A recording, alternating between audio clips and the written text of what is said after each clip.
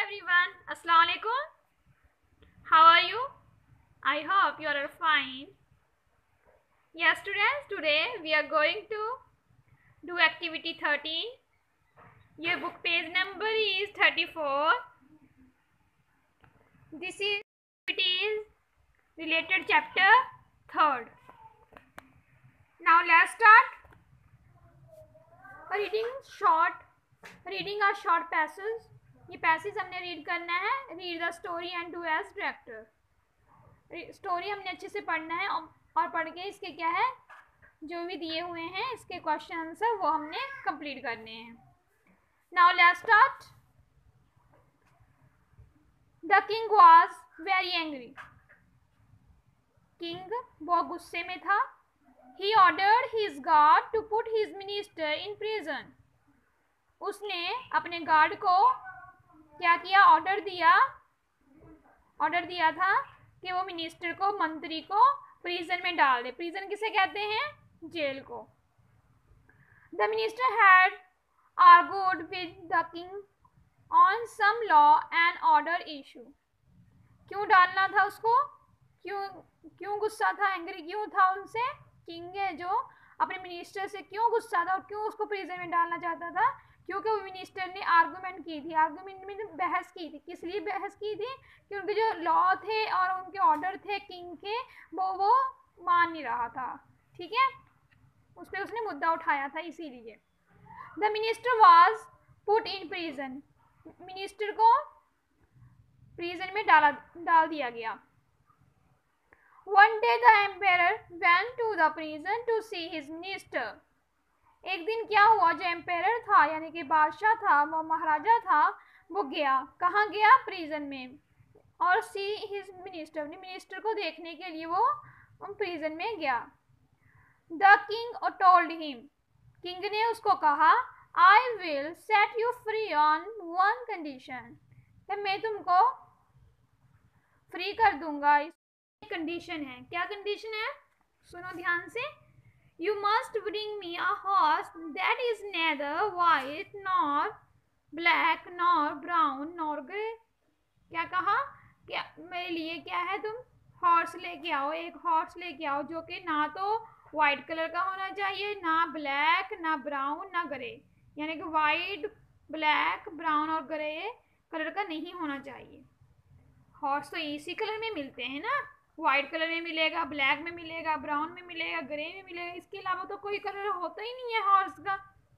तो mister was surprise at the at this demand वो बड़ा सरप्राइज़ हुआ, हैरान हुआ इस बात पे। हाँ he agree to his this condition कि वो कैसे, फिर भी उसने क्या है, उस कंडीशन को मान लिया। समझ गए ना? जी। Next is a week later the minister came to the palace. एक हफ़्ते बाद क्या हुआ? मिनिस्टर उसके पैलेस में आया। किसके पैलेस में आया? राजे के जो एम्पेयर था उनके पैलेस में। Have you found a horse the king asked king ने उससे पूछा, क्या तुमने हॉर्स ढूंढ लिया है? उसने क्या कहा? Yes my lord the minister replied but I will show him to you only on a religious day क्या कहा उसने? यस माई लॉर्ड मैंने क्या है? ढूंढ लिया है बट मैं वो दिखाऊँगा, वो हॉर्स को दिखाऊँगा आपको रिलीजियस डे के दिन। धार्मिक जो डे होता है, उसके, उस दिन मैं दिखाऊँगा। द किंग एग्रीड जो किंग था, वो मान गया। Let me know the next religious day मुझे बता देना, अगले धार्मिक डे मुझे बता देना। ये कहा, किसने कहा? किंग ने। The mister the minister replied I will show you the horse on any day other than Sunday, Monday, Tuesday, Wednesday, Thursday, Friday और Saturday. मिस्टर ने क्या जवाब दिया? कि मैं तुम्हें आपको शो करूँगा इस हॉर्स को। को किसी भी दिन अदर देन कि वो ना तो संडे होना चाहिए ना मंडे ना Tuesday Wednesday Thursday Friday sir ये दिन नहीं होने चाहिए। इसके अलावा जो दिन आएँगे उसको मैं आपको शो कर दूँगा। अब बताओ अब इसके अलावा भी कोई दिन होते हैं, नहीं होते, रोज़ तो संडे मंडे तो Tuesday Wednesday Thursday Friday Saturday ये तो वीक चलता रहता है ना, जो स्टॉप नहीं होता है, इनके अलावा कोई डे आता ही नहीं है तो क्या है, इसका मतलब ये वो दिखाएँगे नहीं, इसी तरह जो हॉर्स है, यही कलर थे उसने, कहा था जो किंग था उसने कहा था यही कलर का होना, इन कलर के अलावा होने चाहिए तो उसी तरह इसने रिप्लाई भी किया कि ये दिन के अलावा जो दिन होगा उसको मैं आपको दिखा दूँगा। The king started laughing king है जो, हंसना स्टार्ट कर दिया उसने, बहुत हंसा वो। He was cleverly outsmarted by his minister he was clever cleverly outsmarted by his minister क्यों अपने मिनिस्टर के क्लेवरिटी पे, चलाकी पे और आउट स्मार्ट पे। होशियारी पे उसे क्या है, हँसी आई। The minister was set free and promoted to the next higher position और मिनिस्टर को क्या किया? उसने फ्री कर दिया। फ्री मीन जेल से निकाल दिया प्रिजन से निकाल दिया। And promoted to the next higher position और उसे ऊँचा मर्तबा दिया। ठीक है? जी।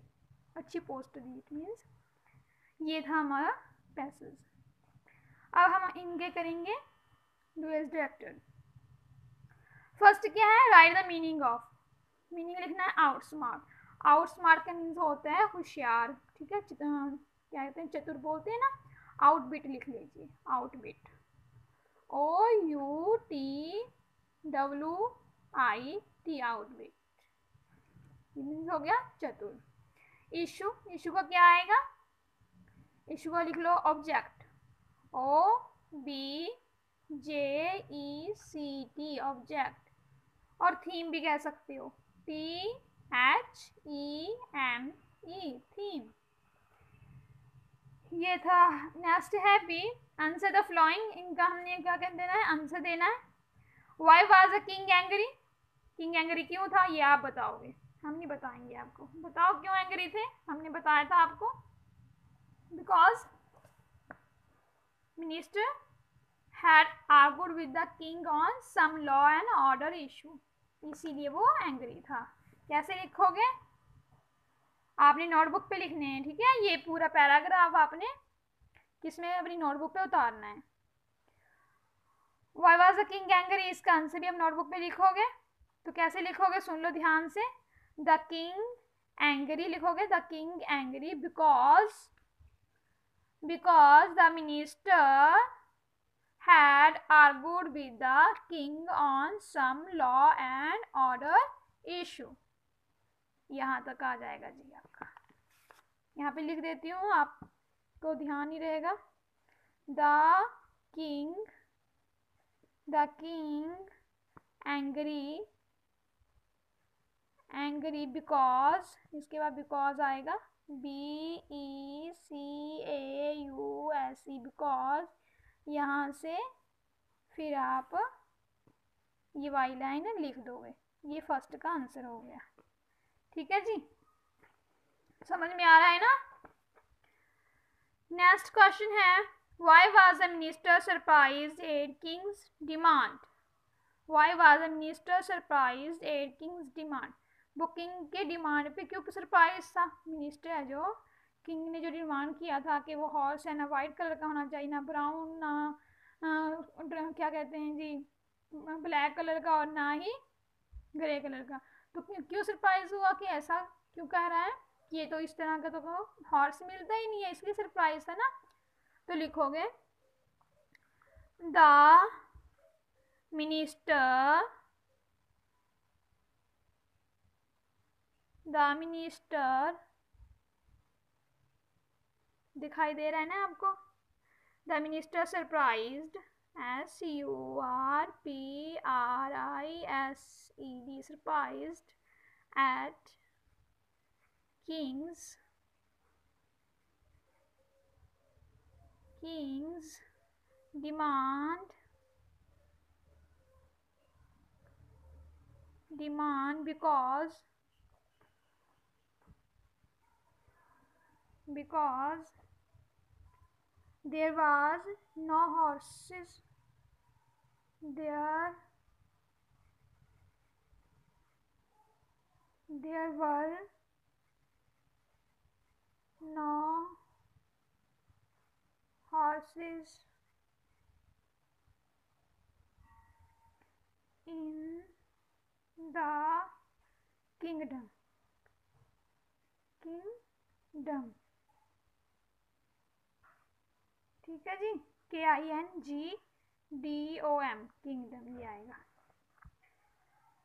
नेक्स्ट है choose a right option the argument between the king and the minister was about argument किस, किसके विचार हुई थी? किंग और मिनिस्टर में किस के प्रति आर्गूमेंट हुई थी?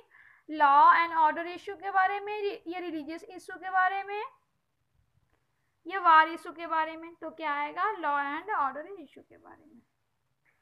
नेक्स्ट क्या है? The king order his guard to put his minister in prison because the minister had king ने ऑर्डर किया गार्ड को कि मिनिस्टर को प्रिजन में डाल दो। क्योंकि मिनिस्टर ने क्या किया था?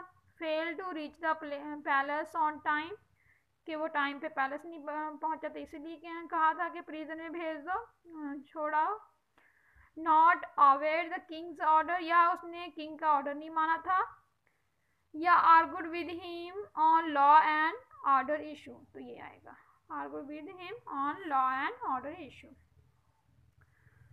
third is the minister was surprised at the king's demand because minister surprised था किंग के डिमांड पे, क्योंकि all horses are neither black or or brown or grey or white, कि सभी थे ब्लैक कलर के थे ब्राउन के भी और ग्रे कलर के वाइट कलर के सभी इसी कलर के थे। There were no horses in the kingdom या कोई भी किंगडम में हॉर्स नहीं था। There was no time to find a horse that the king wanted या उसके पास टाइम नहीं था, जो किंग चाहता था हॉर्स ढूँढने को उस तरह का। उस उसके अकॉर्डिंग जो हॉर्स ढूँढने के बारे में मतलब उसके पास टाइम नहीं था। क्या आएगा? तो आएगा there were no horses in the kingdom ये आएगा। ठीक है जी? ये कर लीजिएगा। Next is next activity is fourteen pair work right as many words as you can think of that rhyme with the following words one rhyming words is given for each words and practice speaking them with your partner ये देखो rhyming word बनाने हैं जैसे मोन bone उसकी तरह क्या आएगा नून नून मीन्स दोपहर होता है ठीक है और क्या आएगा noon balloon B A L double O and balloon और क्या होगा? नून हो गया बलून सोचो, बताओ कोई, आप भी ऑप्शन दो मुझे. Soon S double O N soon और क्या आएगा जी? और क्या? बताओ. Croon C R double O N croon ये था. अच्छा जी लुक्स हुक्स अब बताओ, आप जल्दी जल्दी करो। लुक्स क्या आएगा बताओ? Books B double B O K S books और क्या जी आएगा? हुक्स है ना? हुक्स होता है। Hooks cooks C double O K S cooks और और कोई है? बुक्स, हुक्स, कुक्स, एक होता है रूक, रुक्स। ठीक है जी। नेक्स्ट है स्काई माई, और क्या आएगा? Sky my, Y. ये वाला बी वाई वाई। एक होता है Y, B U Y Y. और भी क्या आएगा? वाई और शाय ठीक है जी? ब्राइट फ्राइट और क्या? वाइट लिख देते हैं W H I T white bright fight white fight F I G H T fight light L I G H T light और क्या आएगा? वाइट हो गया fight light site S I G H T site ठीक है जी, ये थे हमारे rhyming word I hope you understand this topic now you complete your work and check me thank you have a nice day